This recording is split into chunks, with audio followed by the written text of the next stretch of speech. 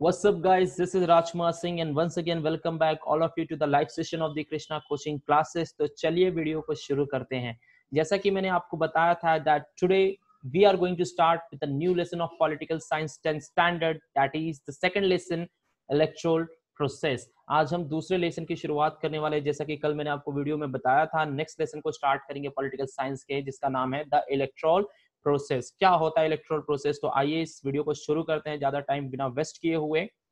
तो आई hope so सभी को मेरी स्क्रीन अच्छे से दिखाई दे रही होगी। सभी को स्क्रीन एकदम क्लियरली व्यू हो रही है। आ, तो ये है हमारा आज का नया टॉपिक जिसका नाम है the electoral process I hope so सभी को क्लियरली दिखाई दे रहा होगा। तो इलेक्ट्रोल प्रोसेस का पहले मतलब समझते हैं क्या होता है इलेक्ट्रोल प्रोसेस तो हमने जैसा कि देखा फ़र्स्ट लेसन के अंदर वर्किंग ऑफ़ द कॉन्स्टिट्यूशन हमने देखी। हमने देखा कि संविधान क्या है what is constitution how does it run? What kind of the policies does it implement for the minorities, for the women? What kind of the fundamental duties does it gives तो ये सारी चीज़ें हमने देखी। क्योंकि सिंपल सी बात है, जब देश है, इतना बड़ा देश है, इतने सारे कानून है, इतना बड़ा कॉन्स्टिट्यूशन है तो इसको रन कराने के लिए भी कोई चाहिए? चाहिए कि नहीं? इसको रन करने के लिए कुछ पीपल चाहिए? अब इतनी बड़ी एक ऑर्गेनाइजेशन है और उस ऑर्गेनाइजेशन के अंदर कोई तो लोग चाहिए ना उस ऑर्गेनाइजेशन को रन करने के लिए। तो वो ऑर्गेनाइजेशन को जो रन कराने के लिए जो लोग होते हैं वो लोग कैसे इलेक्ट होते हैं? वो लोगों को कैसे चूज़ किया जाता है? वो लोगों को कैसे इलेक्ट किया जाता है? तो उसके लिए एक प्रोसेस होती है, उसी को हम कहते हैं द इलेक्ट्रोल प्रोसेस अगर सिंपल शब्दों में मैं कहूँ तो इलेक्शन सिंपल शब्दों में कहूँ तो क्या होता है? इलेक्शन तो इलेक्शन क्या है? इलेक्शन कुछ नहीं है it is nothing but it's an activity it's an activity through which the representative of the countries are elected by the people election कुछ नहीं होता है तो एक चुनाव प्रक्रिया होती है, जिसके अंदर जो देश के नेतृत्व करने वाले लोग होते हैं, उनका निर्वाचन जो करती है, लोग करती है उनको आयुक्त कौन करता है? लोग करती है एक माध्यम से, जिसका नाम है इलेक्शन प्रोसेस। तो चलिए शुरू करते हैं, क्या है इलेक्शन प्रोसेस? अब देखिए, हम सभी को पता है कि हमारी कंट्री जो है एक डेमोक्रेटिक कंट्री है। Our country is a democratic country. Why our country is a democratic country? Because the decision over here is taken with the help of people यहाँ पर जो भी डिसीज़न लिए जाते हैं, वो लोगों को ध्यान में रखते हुए सारे डिसीज़न लिए जाते हैं। तो इलेक्शन भी जो है, एक डेमोक्रेसी का पार्ट है। और सही बात है, जिस देश के अंदर इलेक्शन अगर सही ढंग से होता है पब्लिक को अपॉर्चुनिटी मिल रही है अपने नेता को सिलेक्ट करने के लिए, अपने रिप्रेजेंटेटिव को सिलेक्ट करने के लिए तो वो कंट्री सही मायने में आपकी डेमोक्रेटिक कंट्री है। बहुत सारी ऐसी कंट्री है जो डेमोक्रेसी होने का दावा करती है, लेकिन डेमोक्रेसी वहाँ पर बिल्कुल भी नहीं है। The best example is your Pakistan and China ठीक है? यहाँ पर कंट्री कहती है कि हम डेमोक्रेटिक कंट्री है, लेकिन डेमोक्रेसी के नाम पर क्या होता है वहाँ पर कि हमसे और आपसे नहीं छुपा हुआ है। तो आइए देखते हैं कि डेमोक्रेसी के अंदर इलेक्शन के अंदर सबसे जो इंपॉर्टेंट चीज़ें होती है वो क्या है? तो पहला जो है इलेक्शन डेमोक्रेसी का सबसे जो इम्पोर्टेंट इम्पोर्टेंट मुद्दा है, वो है आपका इलेक्शन जो है, सबसे इम्पोर्टेंट पिलर आप कह सकते हो, वो है आपका इलेक्शन और दूसरा जो है रिप्रेजेंटेशन तो इलेक्शन क्या होता है? तो इलेक्शन एक प्रक्रिया है, एक प्रोसेस है जिसके थ्रू हम अपने जो रिप्रेजेंटेटिव होते हैं, जो प्राइम मिनिस्टर होते हैं, जो चीफ मिनिस्टर होते हैं जो अलग अलग मिनिस्टर होते हैं, उनको हम इलेक्ट करते हैं with the help of election और फाइनली इलेक्ट होने के बाद वो क्या करते हैं? वो हमारे देश को रिप्रेजेंट करते हैं और उसी को हम क्या कहते हैं? Representative of our country the best example use prime minister right prime minister जैसा कि आप फ़ोटो में देख सकते हैं प्राइम मिनिस्टर नरेंद्र मोदी की फ़ोटो लगाई हुई है। ये क्या है? ये हमारे देश के क्या है? रिप्रेजेंटेटिव है। ये दुनिया में, पूरे जाके दुनिया में भारत को रिप्रेजेंट करते हैं। समझ में आ रहा है? तो आई होप सो ये पॉइंट सभी को क्लियर हो रहा है कि what is election and what is representative how representative get elected elections क्या होता है? प्रोसेस क्या होता है? तो सारी चीज़ों को हम डिटेल में समझने वाले हैं। तो नेक्स्ट पॉइंट हमारे अंदर है अब इलेक्शन अब इलेक्शन तो आपको पता चल गया क्या होता है इलेक्शन इलेक्शन एक प्रक्रिया होती है जिसके थ्रू हम रिप्रेजेंटेटिव को इलेक्ट करते हैं. लेकिन कैसे हो, होता है इलेक्शन कितने पार्ट्स में इलेक्शन होते हैं? ये सारी चीज़ें आपने बचपन में पढ़ी है लेकिन आज थोड़ा सा इलेक्शन को और डिटेल में हम पढ़ते हैं. तो पहला कहा गया है जर्नल इलेक्शन आप सभी ने बचपन में पढ़ा होगा लोकसभा राज्यसभा के बारे में. जर्नल इलेक्शन क्या होता है? उसके डेफिनेशन को देखते हैं. Lok Sabha election conducted after every five years are called general election तो याद रखना, जो लोकसभा का इलेक्शन है, जो हर पाँच साल के बाद इलेक्शन होता है, सिर्फ़ लोकसभा का ही नहीं बोल रहा हूँ मैं, जो विधानसभा के इलेक्शन भी होते हैं, हर पाँच साल के बाद उसे हम कहते हैं जर्नल इलेक्शन मतलब ऐसे इलेक्शन जो एक फिक्स इंटरवल के बाद हो, जो एक फिक्स इंटरवल मतलब क्या, हर पाँच साल के बाद, हर छह साल के बाद जो भी इलेक्शन होते हैं, उसे हम कहते हैं जर्नल इलेक्शन अब छह साल बोलोगे, सर, छह साल का कौन सा इलेक्शन होता है? राज्यसभा के इलेक्शन छह साल के बाद होते हैं, ठीक है? तो ये जो इलेक्शन प्रोसेस होते हैं, इसको हम क्या कहते हैं? जर्नल इलेक्शन ऐसे जो इलेक्शन होते हैं, एक फिक्स इंटरवल टाइम पर जो होते हैं, उसे हम क्या कहते हैं? जर्नल इलेक्शन कहते हैं। ओके नेक्स्ट जो टर्म है आपका, वो है मिड टर्म इलेक्शन अब नाम में लिखा हुआ है मिड टर्म मतलब बीच में। अब यह मिड टर्म क्या होता है, इसको पहले समझते आइए। This election are held if the elected government loses its majority before completing its term in the parliament. अब देखो क्या होता है। कभी कभार पॉलिटिकल पार्टी बंद तो जाती है मेजोरिटी आ जाती है। जैसे 543 सीट्स पर चुनाव हुआ 272 सीट्स उन्होंने ला लिए। पॉलिटिकल पार्टी को मेजोरिटी मिल गई पॉलिटिकल पार्टी ने अपनी सरकार भी बना ली। लेकिन कुछ दिनों के बाद क्या होता है कि उनके जो रिप्रेजेंटेटिव होते हैं, उनके जो मंत्री होते हैं, उनके जो मेंबर्स जीत के आए रहते हैं, जो मेंबर्स ऑफ़ पार्लियामेंट होते हैं, वो जो क्या करते हैं, अपने आपको उस पार्टी से अलग कर लेते हैं। वो कहते हैं कि नहीं, हमें इस पार्टी के साथ नहीं रहना है। तो ऐसे कंडीशन में क्या हो जाता है, जब पार्टी के पास मेजोरिटी ना हो जब पार्टी के पास मेजोरिटी नहीं है, आप पार्टी के पास कोई ऑप्शन ही नहीं है। सिंपल सी बात है, जब आपके पास मेजोरिटी नहीं है तो क्या आप सत्ता में रह सकते हो? नहीं रह सकते हो। तो ऐसे टाइम में मिड इलेक्शन होने की संभावनाएँ होती हैं। देखो, इतना आसान नहीं होता। आपको लगता होगा ना मिड इलेक्शन तुरंत करवा देते, नहीं बेटा। इतना इजी नहीं होता, इसलिए बहुत लंबा प्रोसेस लगता है, क्योंकि इलेक्शन कोई खेल नहीं है ना। कि आज करवा, आज जब मन किया तब कर दिया हमने। इलेक्शन में बहुत ज़्यादा पैसा खर्च होता है, बहुत सारी चीज़ें होती हैं, बहुत सारी पहले से तैयारियाँ करनी पड़ती हैं। तो ये एक ऐसा केस है, एक ऐसा सिचुएशन है, अगर ऐसा होता है पॉलिटिकल पार्टी अपनी मेजोरिटी लूज कर दे, तब इलेक्शन कराने के चांसेस रहते हैं। जैसे बेस्ट एग्ज़ाम्पल आपने कर्नाटका का देखा, आपने अभी जम्मू कश्मीर में जो हालात देखे वो सब इसी इलेक्शन के, इसी के अंदर आते हैं। लेकिन अभी तक वहाँ पर इलेक्शन नहीं हुआ है तो हम इसको मिड टर्म इलेक्शन नहीं कहते हैं। तो ये क्राइटेरिया अगर मैं जो जो पॉलिटिकल पार्टी मेजोरिटी में है, वो अपनी मेजोरिटी लूज कर देती है तो एक कंडीशन हो जाता है कि इलेक्शन कराने के आसार लगते हैं। लेकिन उसके साथ में और कंडीशन है। दूसरा कंडीशन ये कहता है the parties of the coalition government withdraw their support resulting in the losses of majority support for the government और कभी कभी आपने देखा होगा, जब किसी एक पॉलिटिकल पार्टी को मेजोरिटी नहीं मिलती है तो डेमोक्रेसी के अंदर एक और कायदा है, एक और नियम है अपने आप को मेजोरिटी में सिद्ध करना। वो है कोलिएशन मिली जुली सरकार। एक दूसरे से यू कैन से बहुमत लेके एक दूसरे से हाथ मिला के हम सरकार बनाते हैं। जैसे आप देखते हो अभी बीजेपी की सरकार है तो बीजेपी की सरकार किसके साथ बनी हुई है? एनडीए के साथ बनी हुई है। दो, बीजेपी के पास खुद का इतना पावर था कि वो मेजोरिटी में खुद की अपनी सरकार बना सकती थी, लेकिन तो भी एनडीए क्या है? एनडीए जो है नेशनल डेमोक्रेटिक अलायंस है। ये अलायंस है मतलब ये मिली जुली सरकार है। एनडीए मतलब बीजेपी के साथ और भी ऐसी पार्टियाँ हैं जो बीजेपी के साथ मिलकर सरकार चला रही है और इसी को हम कहते हैं कोलिएशन गवर्नमेंट तो ऐसे कंडीशन में भी मान लो अगर कोलिएशन गवर्नमेंट ने अपना कह दिया कि नहीं, अब हमें आपके साथ नहीं रहना है, हमें आपके साथ सरकार नहीं चलाना है तो ऐसे केसेस में भी आपके मिड इलेक्शन के क्या होते हैं चांसेस बन जाते हैं।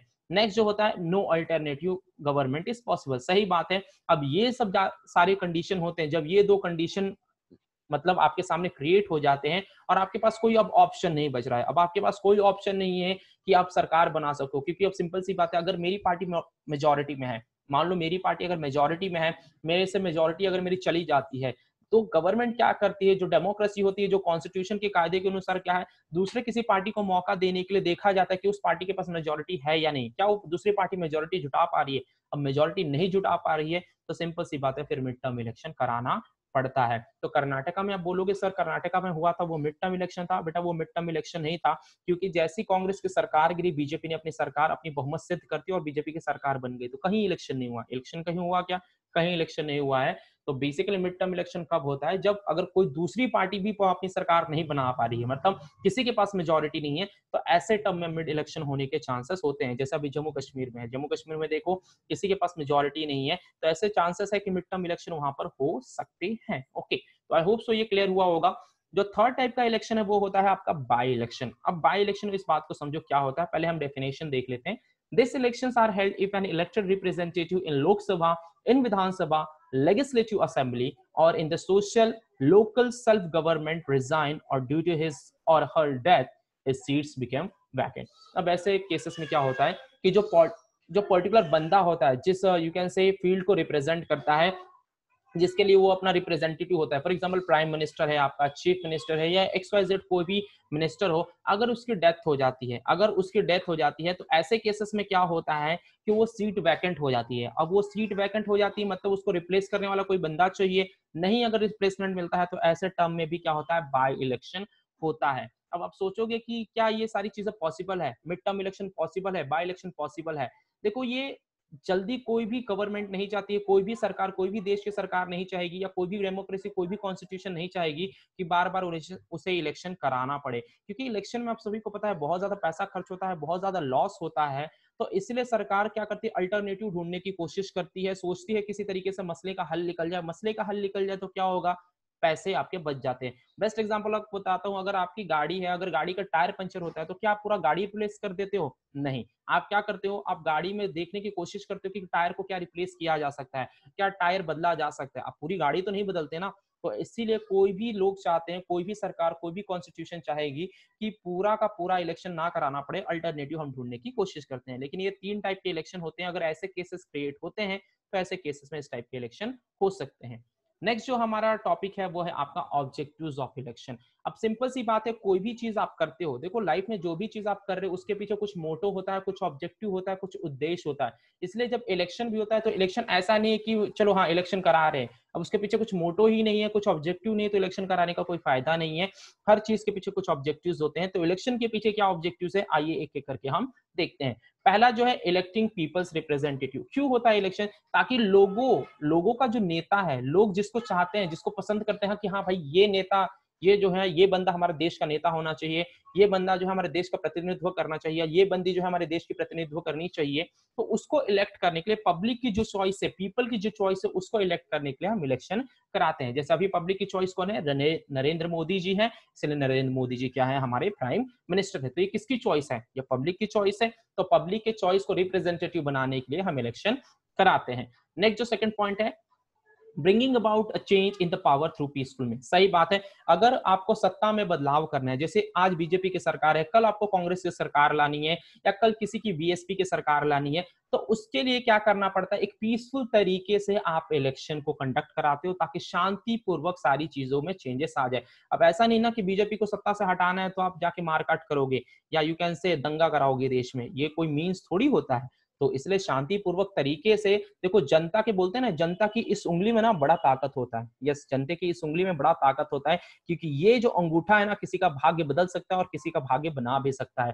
तो सामने वाले अगर रिप्रेजेंटेटिव अच्छे से काम नहीं कर रहे हैं तो उनसे कुछ झगड़ा नहीं करना है। सीधे अगली बार इलेक्शन में जाना है और ये वाला बटन यहाँ से करके यहाँ दबा देना है, ठीक है? तो पीसफुल तरीके से आप क्या कर सकते हो, सरकार को सत्ता से बेदखल कर सकते हो, ठीक है? मतलब यू कैन से चेंज ला सकते हो। जैसे आज इसकी सरकार है तो कल उसकी सरकार आ सकती है शांतिपूर्वक तरीके से। नेक्स्ट जो है giving different political parties an opportunity to rule सही बात है, अगर बहुत सालों तक एक ही पॉलिटिकल पार्टी के हाथ में अगर सत्ता रहती है तो क्या होता है, कभी कभार पॉलिटिकल पार्टी जो है पावर का मिसयूज करती है। मैं ऐसा नहीं बोल रहा हूँ कि करती ही है, क्योंकि पॉलिटिकल पार्टीज़ बड़ी ईमानदार होती है, बहुत अच्छे तरीके से काम करती है, क्योंकि उनको पता होता है, अगर हमने काम नहीं किया तो देश की जनता अब जो है इलिटरेट नहीं है, बहुत लिटरेट है, वो हमें तुरंत सत्ता से बेदखल कर देगी। लेकिन तो भी पॉलिटिकल पार्टी को चेंज करना है दूसरे पॉलिटिकल पार्टी को अपॉर्चुनिटी देना है क्योंकि अगर जब तक हम सामने वाले को मौका ही नहीं देंगे तो कैसे अपनी काबिलियत को शो कर पाएगा राइट तो दूसरे पॉलिटिकल पार्टी को भी अपॉर्चुनिटीज़ देने के लिए इलेक्शन कराई जाती है। ओके okay, उसके बाद देखो bringing about a change in the policies of the government साथ ही साथ में अब देखो, किसी दूसरे की सरकार आती है। अभी बीजेपी की सरकार है, मान लो कल जाके किसी कांग्रेस की फिर से सरकार आती है या फिर से अगर मान लो बीएसपी की सरकार आ जाती है त्रिमूल कांग्रेस की सरकार अगर आ जाती है तो इनकी पॉलिसीज़ भी आपको देखने को अलग अलग पॉलिसीज़ देखने को मिलेगी। अब कांग्रेस की मैं बात करता हूँ तो कांग्रेस सेक्युलरिज्म में बिलीव करती है। बीजेपी की बात करता हूँ बीजेपी हिंदुत्व का एजेंडा बहुत ज़्यादा चलाती है। ठीक है तो दोनों की पॉलिसी में बहुत ज़्यादा डिफरेंस आपको देखने को मिलता है। तो इसी तरीके से पॉलिसीज़ में भी चेंज होती है, जब सरकारें बदलती हैं। Next bringing about a social change और साथ ही साथ समाज में भी बदलाव लाने की ज़रूरत है, क्योंकि आप सभी को पता है, जब तक समाज के अंदर बदलाव नहीं आएगा, बदलाव के बिना कोई ज़िंदगी पॉसिबल नहीं है। हर इंसान को इवोल्यूशन करना पड़ता है। आपको पता है डार्विन की थेरी पता होगी डार्विन की थेरी सभी ने पढ़ी है। तो डार्विन की थेरी क्या कहती है? वही बंदा सर्वाइव कर सकता है इस दुनिया के अंदर जो अपने आप को क्या कर सके इवॉल्व कर सके मेच्योर्ड कर सके। तो इसलिए समाज के अंदर भी अगर आपको कुछ बदलाव लाने हैं, जैसे देखो ट्रिपल तलाक अभी हट गया। आर्टिकल 35 ए हटा हमारे यहाँ से। ये क्यों हट पाई? ये समाज के अंदर कैसे चेंज आए? जब हमारी गवर्नमेंट बदली, जब हमारी सरकार बदली, जब लोगों ने अपने यू कैन से नेतृत्व को थोड़ा सा समझा कि हाँ हमें किसको वोट देना है, तब जाके पॉलिसीज़ के अंदर भी थोड़ी चेंजेस आई और आपको सोशल चेंजेस भी देखने को मिल रहा है। ओके तो आई होप सो ऑब्जेक्टिव सभी को समझा होगा। आइए नेक्स्ट टॉपिक की तरफ़ बढ़ते हैं इलेक्शन कमीशन देखो, इतनी सारी चीज़ें पढ़ लिए इलेक्शन ये है इलेक्शन वो है, ये इलेक्शन का ऑब्जेक्टिव है, वो इलेक्शन का ऑब्जेक्टिव है। लेकिन कराता कौन है इलेक्शन? मैं और आप कराते हैं इलेक्शन? बिल्कुल नहीं। तो कोई तो कराता होगा। देखो, कोई भी चीज़ रन कराने के लिए एक ऑर्गेनाइजेशन लगती है ना तो यहाँ पर जो इलेक्शन कंडक्ट कराती है, उस ऑर्गेनाइजेशन का नाम है इलेक्शन कमीशन उस ऑर्गेनाइजेशन का नाम क्या है? इलेक्शन कमीशन ये एक संस्था है, जिसको हिंदी में हम निर्वाचन आयोग कहते हैं। जैसा कि आप फोटोग्राफ में देख सकते हो, भारतीय निर्वाचन आयोग, जिसको इंग्लिश में कहते हैं इलेक्शन कमीशन ऑफ़ इंडिया अब ये इलेक्शन कमीशन ऑफ़ इंडिया क्या है? ये इलेक्शन कमीशन किसने स्टैब्लिश किया है? हमने स्टैब्लिश किया है, प्रधानमंत्री मोदी ने स्टैब्लिश किया है? जी नहीं। ये इलेक्शन कमीशन जो है एक कॉन्स्टिट्यूशनल बॉडी है। ये जो है आपकी एक ऑटोनोमस बॉडी है जो कि इंडिपेंडेंट बॉडी है। आइए पढ़ते हैं इसके बारे में और डिटेल में हमें क्लियर होगा थोड़ी चीज़ें। Article 324 of the Indian constitution establish election commission which is an autonomous independent body तो क्या कह रहा है? ये अनुच्छेद 324 आर्टिकल 324 में कॉन्स्टिट्यूशन में इलेक्शन कमीशन का ज़िक्र है और इसी ने इलेक्शन कमीशन को बनाया है। समझ में आ रहा है? और ये इंडिपेंडेंट बॉडी है। अब इंडिपेंडेंट बॉडी का मतलब समझो। इंडिपेंडेंट बॉडी मतलब ये किसी भी सरकार के दबाव में आके काम नहीं करेगी। किसी के सरकार के यू कैन से आदेश पर काम नहीं करेगी। ये जो अपना काम है, अपने ढंग से, अपने तरीके से करेगी। क्यों इंडिपेंडेंट बॉडी है? क्यों इसको इंडिपेंडेंट बनाया गया? अगर काश इंडिपेंडेंट बॉडी नहीं होती तो दिक्कत क्या होती? तो जितनी भी सरकार, अब आज मान लो, बीजेपी की सरकार है, कल मान लो कांग्रेस की सरकार आएगी तो वो अपने तरीके से इलेक्शन कमीशन पर दबाव बनाती, उस पर मतलब कुछ चेंजेस पॉलिसी चेंज करने के लिए कहती मतलब कहीं ना कहीं जो प्योरिटी है ना इलेक्शन की। जो इलेक्शन की शुद्धता है, वो कहीं ना कहीं खराब हो जाती है नष्ट हो जाती है और करप्ट इलेक्शन भी क्या हो जाता? पूरी तरीके से करप्ट हो जाता। तो कहीं ना कहीं करप्शन को रोकने के लिए माल प्रैक्टिस को रोकने के लिए इलेक्शन कमीशन को एक इंडिपेंडेंट बॉडी बनाया गया है। इलेक्शन कमीशन को क्या बनाया गया है? इंडिपेंडेंट बॉडी बनाया गया है। अब इलेक्शन कमीशन तो बन गया। अब इलेक्शन कमीशन को चलाने वाला भी कोई चाहिए तो कौन चलाता है इसको? The president appoint the election commissioner तो जो इस इलेक्शन कमिश्नर का हेड होता है वो इलेक्शन कमिश्नर होता है और इलेक्शन कमिश्नर को कौन अपॉइंट करता है? प्रेसिडेंट और जैसा कि आप सभी को पता होता है कि प्रेसिडेंट किसी भी पार्टी का नहीं होता प्रेसिडेंट जो है एक कॉन्स्टिट्यूशनल पद है। एक कॉन्स्टिट्यूशनल पद है प्रेसिडेंट जो है किसी पार्टी का नहीं होता है ठीक है?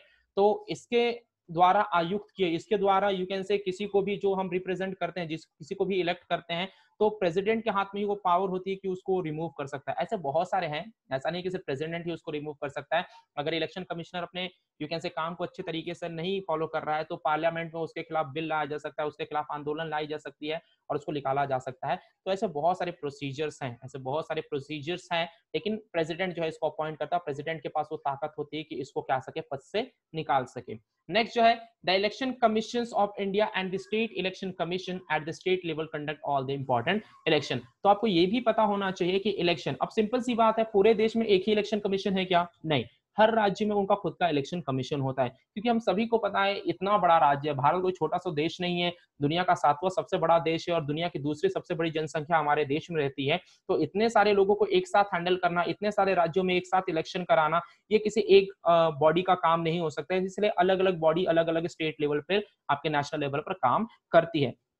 तो स्टेट के अंदर जो विधानसभा के इलेक्शन होते हैं, वो आपकी स्टेट का इलेक्शन कमीशन कराती है। नेशनल लेवल पर लोकसभा का जो इलेक्शन होता है, वो आपकी इलेक्शन कमीशन ऑफ़ इंडिया कराती है। इसी तरीके से इलेक्शन कमीशन ऑफ़ महाराष्ट्र है, election commission of Bihar, election commission of UP, हर एक राज्य में उनके खुद की इलेक्शन कमीशन होती है। तो आई होप सो ये पॉइंट सभी को क्लियर हो रहा होगा। नेक्स्ट जो पॉइंट है हमारा ऑब्जेक्टिव्स ऑफ़ इलेक्शन कमीशन अब इलेक्शन कमीशन जो है, उस इलेक्शन कमीशन की कुछ ऑब्जेक्टिव्स भी होगी। जैसे कि हमने इलेक्शंस के ऑब्जेक्टिव पढ़े, अब इलेक्शन कमीशन के ऑब्जेक्टिव को पढ़ेंगे हम। कंफ्यूज बिल्कुल नहीं करना इलेक्शन का ऑब्जेक्टिव अलग होता है इलेक्शन कमीशन का ऑब्जेक्टिव अलग होता है। इलेक्शन क्या करता है? इलेक्शन एक प्रोसीजर है और इस प्रोसीजर को कराने के लिए जो एक बॉडी है, वो है इलेक्शन कमिश्नर इलेक्शन कमीशन और ये इलेक्शन कमीशन के भी कुछ ऑब्जेक्टिव्स होते हैं तो उस ऑब्जेक्टिव को आइए हम पढ़ते हैं। तो पहला जो ऑब्जेक्टिव कहा गया है the electoral process should be free fair and reliable सही बात है इलेक्शन कमीशन का काम क्या होता है? जो इलेक्शन हो रहा है हमारे देश में, वो एकदम शांतिपूर्वक तरीके से होना चाहिए फ्री होना चाहिए, एकदम फेयर होना चाहिए और रिलायबल मतलब देश को उसके ऊपर विश्वास होना चाहिए। सिंपल सी बात है, जब देश को इलेक्शन कमीशन के ऊपर ही विश्वास नहीं होगा, देश में अगर इलेक्शन ही सही ढंग से नहीं चलेंगे फ्री नहीं होगा फेयर तरीके से नहीं होगा माल प्रैक्टिस होंगी तो इलेक्शन कराने का फ़ायदा ही क्या है? फ्री का मतलब यहाँ पर समझो आप सिं, सिंपल सी बात है अगर आप में या हम में से किसी को प्राइम मिनिस्टर के पोस्ट के लिए खड़ा होना है या सीएम के पोस्ट के लिए खड़ा होना है तो कहीं पर ऐसा लिखा होता है कि आपको दस हज़ार रुपए भरने पड़ेंगे आपको एक लाख रुपए भरने भरने पड़ेंगे तब जाके आप सीएम के पोस्ट के लिए खड़े हो सकते हो ऐसा कहीं नहीं होता है। इलेक्शन पूरी तरीके से फ्री होता है आपको एक रुपया पे करने की ज़रूरत नहीं होती हाँ। आप जो खर्चा करते हो अपनी रैली वगैरह में वो इलेक्शन कमीशन उसके लिए रिस्पॉन्सिबल नहीं वो आप अपने लिए खर्चा करते हो। इलेक्शन कमीशन इसके लिए बिल्कुल भी नहीं बोलता है कि आप जो है रैली में बीस हज़ार खर्चा करो, बीस करोड़ खर्चा करो, बिल्कुल नहीं। इलेक्शन जो है एक फ्री फ्री प्रोसीजर होता है। फेयर मतलब कोई भी धांधली नहीं होती है, इसके अंदर माल प्रैक्टिसेस नहीं होती, माल प्रैक्टिसेस को रोकने के लिए, ऐसा नहीं बोल रहा हूँ कि माल प्रैक्टिसेस नहीं होती होती है कहीं कहीं भी आज पर भी आज भी देश के बहुत सारे ऐसे हिस्से हैं जहाँ पर माल प्रैक्टिसेस होते हैं और हम खुल्लम खुला देखते भी हैं।